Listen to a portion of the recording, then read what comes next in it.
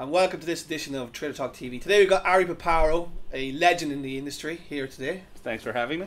Ari's the uh, CEO of Beeswax, and before we jump into this subject, let's talk a bit, bit, bit about uh, Beeswax and what is it, what do you do? Sure. Beeswax is a startup that I founded with two other Google co-founders, and the idea is to have what we call the bidder as a service, a fully customizable single-tenant DSP. So in our cloud, Coke and Pepsi are different. They don't separate data, separate algorithms, separate data feeds, and that gives you enormous amount of customization and capabilities.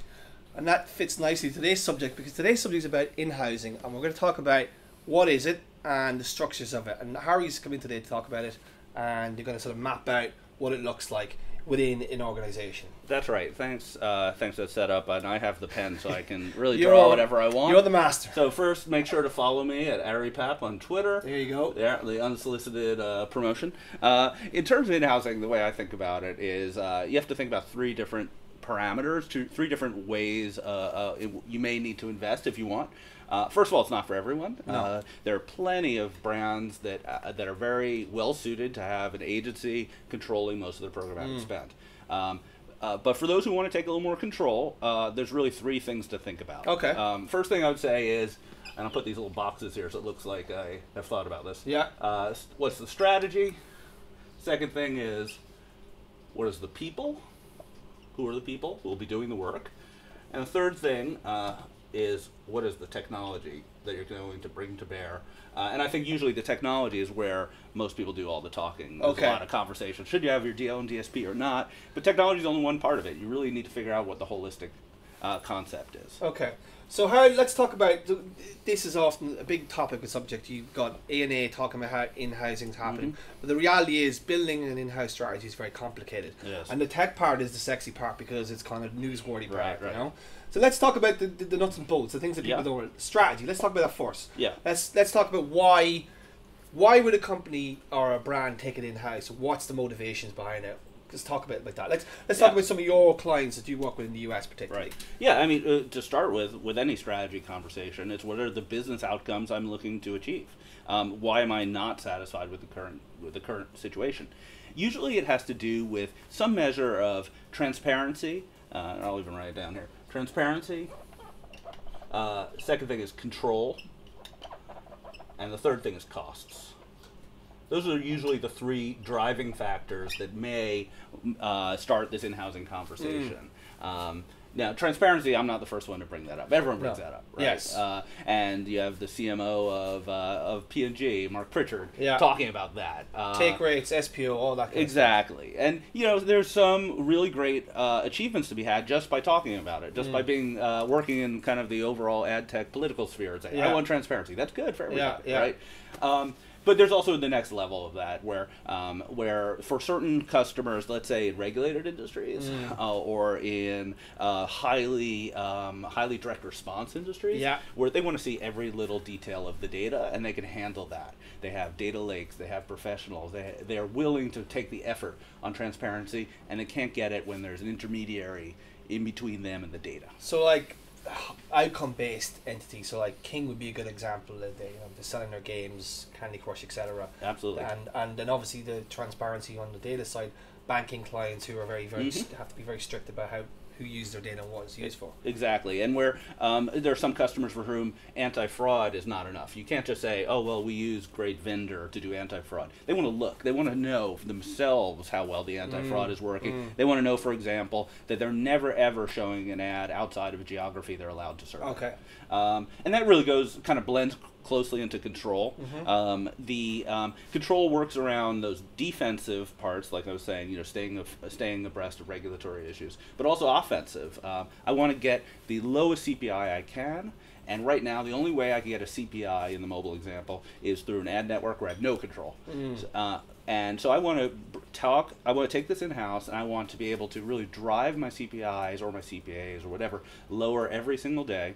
Create a learning organization uh, and get better and better at this as a competitive advantage. Okay. And then the costs obviously. Costs, obviously, the fewer middlemen, just by its very nature, should reduce costs.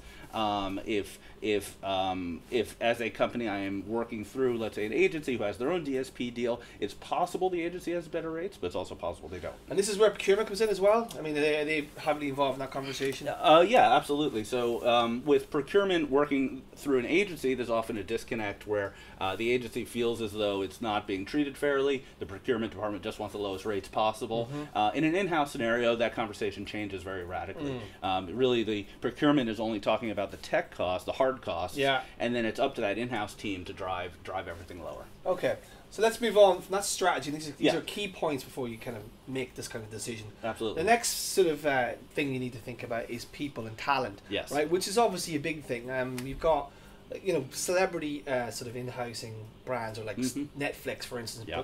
The li- people, it's a technology company, Mhm. right? So people want to work for Netflix because Yes. it's it's got that tech uh, halo, right? But let's talk about other brands that have don't have that tech Yeah. and are traditional brands.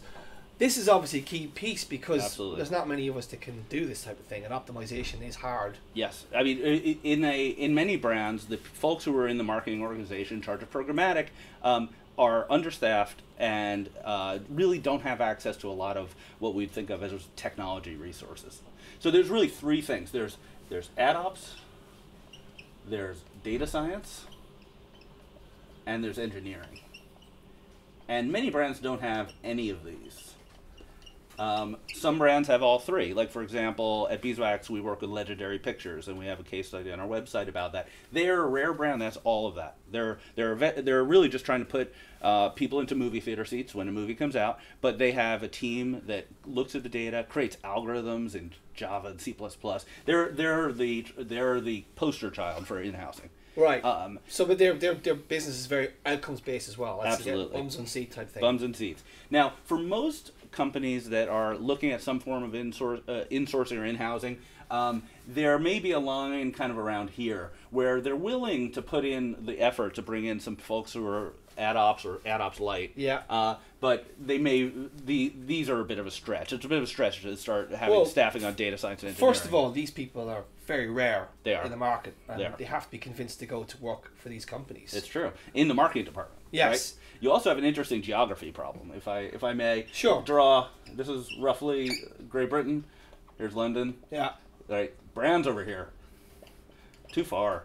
Yeah. distance. Yeah. In the United States, I could draw the exact same diagram, and I would say, here's where the ad ops people are: New York, San Francisco, and here's where the brands are, right in the middle. Midwest. Yeah, might be few, in, you know. There's a couple. Yeah, yeah. that was yeah. a terrible United States. Hold Yeah, on, let me make Florida more look a little uh, better. Yeah, Florida's gonna And be put in Long Island. Yeah, yeah. All right, there you go. Uh, so the Trump one as well, but uh, we'll leave that. we'll leave that alone. Yeah.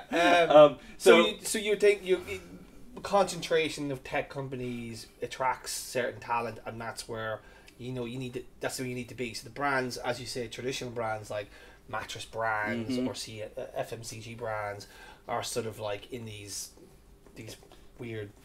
parts of the Geography is one Yeah. aspect. Also, they don't have a pipeline necessarily. Right. The, the young employees they're bringing into the marketing department aren't on a track to suddenly become uh, run programmatic campaigns. And also, it's a case of if you if you're in this industry, it's almost like being a coder. You want to learn from people Mhm. above you, and the way you learn is to work with the best. who are usually an agency. Yeah, so like you know, CTOs always uh, a CTO is worth his weight in gold because they take developers with them, and people want to learn from that person. That's exactly right. and, and and I suppose the agencies, as you say, are, are and the ad tech are the breeding ground for a lot of these people. Like Yes. so, So this is where I think there are interesting hybrid strategies. Uh, I, I think you were speaking to me earlier about the levels of insourcing, Sure. right? And so uh, the most common way people are in-house or insourcing is where the the uh, marketer is taking control of the tech, Right. But the agency is still uh, taking care of the people, Right. And they're being paid appropriately for the use of those people. And I think that's actually a potentially very beneficial relationship, Right. Combination. Um, and And would you say that that, that, that, that that hasn't been reported on as much that when we hear about in-house and people think, oh, bring it on in-house, but actually it's more these hybrid relationships that are that are starting to pop up. I think that's right. I, th- I think that it's a very beneficial conversation, and it happens very frequently where the market the marketer is saying, uh, "I have my DMP relationship. I, I want to own my DSP relationship." And it's and hello, Mr. Agency, your agency of record for digital. This do- shouldn't affect you negatively. This should enhance our conversation and our relationship. Um, and but you know, th- in this industry, everyone likes to complain, everyone likes to fight, and uh, th- and there are always examples of people where they don't get along, and I Yeah. think that gets a little more highlighted. Do you think there's an opportunity here for new entities to arrive and do execution? I mean, I know Yeah. agencies do that, but they've been some of them have been slow to kind of move in this direction, and they still are. They I, I think are. if you look at uh, like uh, if you look at the list of some of the top programmatic agencies, they're all kind of in this pattern. Like Yeah. people like Media IQ, uh, where they invest very heavily in making DSPs more successful uh, on behalf of agencies with some proprietary tech, not necessarily hard coding one DSP into there. Um, fine line between ad network and agencies there, or Media IQ. uh, you know, I, I just threw that example out, uh, but I, I think agencies that are leaning into programmatic are Right. most or most uh, well suited to bring a marketer along with the marketer choosing the tech. Right, so that you're like this is likely to be the to, to be the model going forward in many ways for a lot of um, um, um, brand, brands in Europe specifically. I, I think so. I, I think in Europe specifically, uh, talent is even harder to address than in the United Mm-hmm. States, um, and I I think you'll see some direct response oriented advertisers go full programmatic, take it all in house. Like a Booking.com. Like a Booking.com, Yeah, perfect travel, Yeah. uh, gambling, those kind of uh, those kind Yeah. of entities. Um, but for mainstream marketers uh, in the European market, I think you'll still see heavy agency involvement, but more control over strategy and more control over tech. So let's talk about the tech piece now. Absolutely, That's yeah. that's the last piece of the puzzle. Yeah. I mean, how important is that? I mean, obviously these these pieces have to be there first before Right. you can do that. So how how how how big is that issue there as well? Well, uh, with tech, I think absolutely. Um, this is where I'd be an advocate. I've been very neutral so far. Yeah. I'd be an advocate. I think that any marketer who's spending significantly on programmatic should have a very strong point of view on who the DSPs is or are that they work with, and look at at least contracting in house that DSP, even if it is more of an agency-led relationship. So, so I think with tech, your questions are: you have your contract um, you you you have a tie to strategy. So what are you trying to accomplish? What kind of relationship do you want as a choice of DSP? Um, you have, and this also relates to strategy. What sort of data and strategy can be expressed in that DSP? Um, and and lastly is um, how much you want to you know custom or or bespoke based on what you're trying to accomplish Yeah. Every every marketer is different, and even within a single marketer, you may have a hundred different strategies and budgets, right? Uh, and you have to align your choice of tech against that. So, I mean, to not to pick on Google, but it, if you want to buy YouTube through a DSP, you only have one choice. Right, and it's hard to argue against that. If YouTube's important to your business, you should probably have a uh, a uh, DBM account. Yeah. Right, Yeah. um, that's just the way it is. Yeah. Uh. Um, and in terms of like the custom spoke stuff, how how important is that now going forward? Because obviously your business is based around that kind of ethos that Absolutely. you're building to fit the needs and requirements of customers. So like we we, had like the, the sort of enterprise DSPs like the the, the, the DBMs and the trade Mhm. desks and the, and the MediaMaths of the world and DataXus of the world who were the first wave. But now we're talking about well clients are going well we want this we want that Right. As you said no brand is the same has the same KPIs or the same outcomes. I, we think it's incredibly important. Obviously, that's why we're in the business. Uh, we, we think that the idea that a single uh, algorithm, single data science model across hundreds of customers can work is is not um, being proven out in the reality. Um, there's a big difference between a return on ad sales, and- uh, ad spend, uh, ROAS Yeah. type uh, metric versus you know click through sign up type metric Right. or or like an automotive six month delayed conversion type Yeah. activity. Yeah.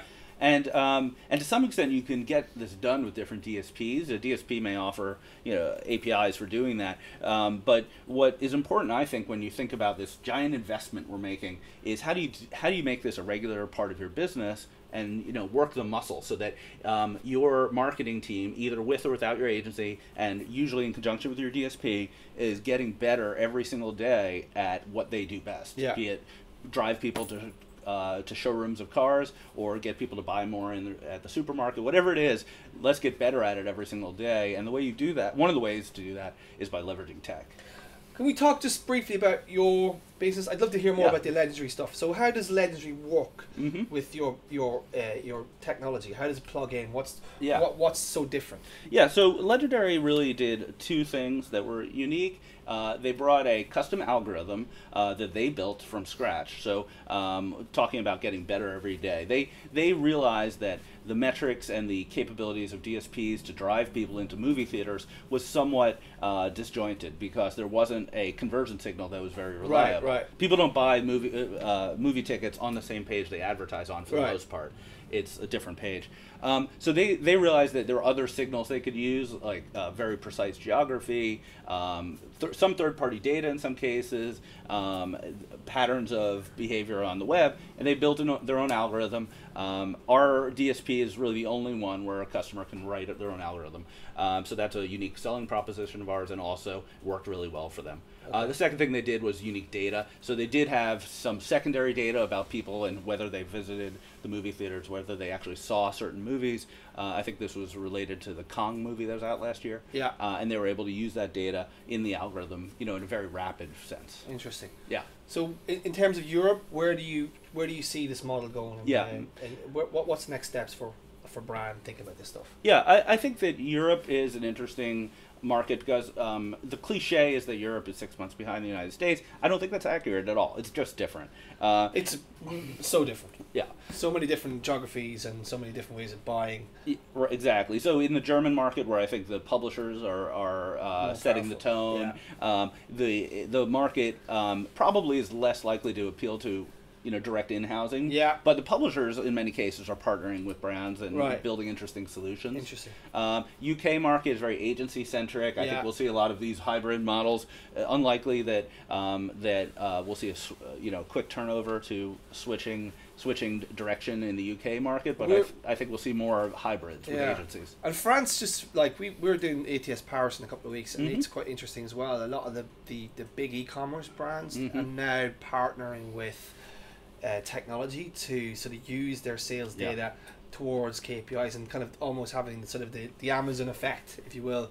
They see opportunity to build ad models quite, and I- it's quite an interesting interesting model. Again, Absolutely. very different from the UK because you you're right. The the agencies control here. They they, they, they sort of uh, run run the whip over over everybody here. But in France, it's quite different, and the, and, and, and, and Germany. I think e-commerce in general is a very interesting space because uh, when you go to uh, when you talk to an e-commerce marketing manager about the programmatic stack, it looks very different from a nor- from a mainstream marketer Right. because Criteo on top. Um, they they may say, oh well, we use DBM Criteo, and then a couple of other vendors. If you talk to a marketer like a CPG, Criteo's not even on the list. Um, and uh, and that is an interesting opportunity in some cases because obviously it's a very pretty fat budget line item without has no transparency, no control, and high cost. Black box effect. black box, yeah, right? an ad network in many ways. Of course. Yeah. Um, not that I'm not I'm harping on them, but um, if you think about e-commerce, what do they have? They do have people. They do have data science. They do have engineering. They have these problems, and they're putting a lot of their money into a black box. Yeah. So that's an opportunity for everybody. Interesting. Well, Larry, thanks for that overview uh, in housing because uh, I think people need to know what's going on, and we'll definitely have you in later in the year. and We'll probably see you at ATS London this year as well. So Right. Thanks, for Thanks for having me. I apologize for the bad England. it's drawing. fantastic, a fantastic. So, job. wait, I'm sorry. I forgot earlier. Yeah. Oh yeah, yeah. Oh, that's the that's the occupying six counties, but we'll not get into that now. and uh, that was Trader Talk TV, and we'll see you next week.